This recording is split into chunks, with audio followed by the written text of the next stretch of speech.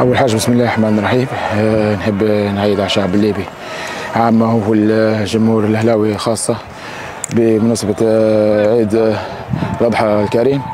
نقول لهم كل سنة وأنتم طيبين. الحمد لله قدرنا إن إحنا نقصوا نقاط مباراة اليوم. مباراة صعبة قدام فريق الأهلي بنغازي.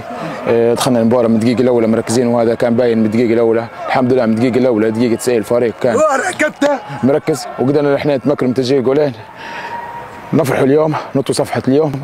نركز المباراة الجاية. إن شاء الله ربي يوفقنا والبطولة 13 بإذن الله في نادي الأهلي